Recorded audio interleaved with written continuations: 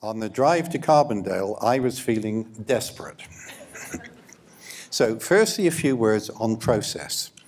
Any process has three stages the beginning, the middle, and the end. And each of those stages has three stages the beginning, the middle, and the end, which gives us nine distinct stages the beginning of the middle, the middle of the middle, the end of the middle, for example. And the most difficult place to be is the middle of the middle. So if you see a circle, here's the beginning, around, here's the beginning, here's the middle, here's the end. Right down the bottom is the middle of the middle. We're too far from the beginning to go back, too far from the end to go forward. In The Journey of the Hero, some of you may know Joseph Campbell's work on the hero. This is the abyss. And experientially, this is what it is.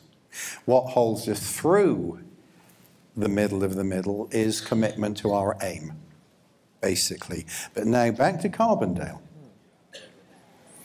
The drive to Carbondale was a three month King Crimson tour, working through Europe, then up to Canada, down the United States, and out to Japan.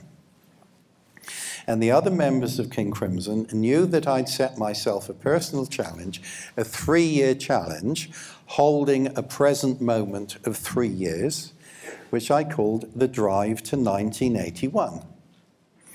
So the other members of King Crimson knew that our performance in Carbondale on November the 11th, 1981, it What was a Wednesday. they knew this would be the middle of my middle and I, I would be struggling. So they called it the Drive to Carbondale. Now, in terms of right action generating just consequences, and we can have faith in this. One of the Guitarcraft characters from the early years, who was still a close part of my life, was Steve Ball. There is Steve in the middle. Steve is now a player at the Beast of Redmond, that is Microsoft. Steve took me to do various things. Here he is, look at him. On one of our great divides, I have spent more time, more miles in vans with Steve, setting off to unfortunate performances than any human being should be asked to undertake. One day I said to Steve, Steve, why are you here? And Steve said,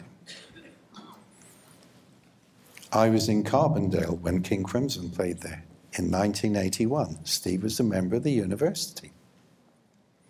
So King Crimson performing on the drive to Carbondale, one of the outcomes of that was Steve Ball came into my life.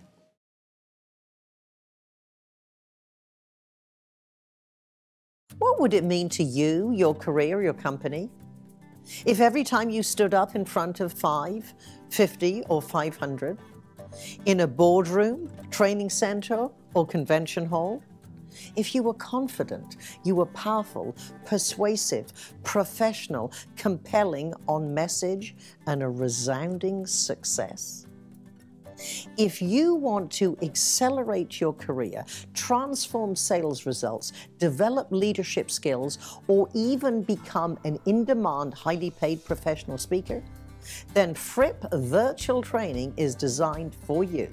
Fripp VT Powerful Persuasive Presentations is my highly interactive, learn at your own pace virtual training around all area of presentations. It is almost as if I am there, sitting next to you, helping.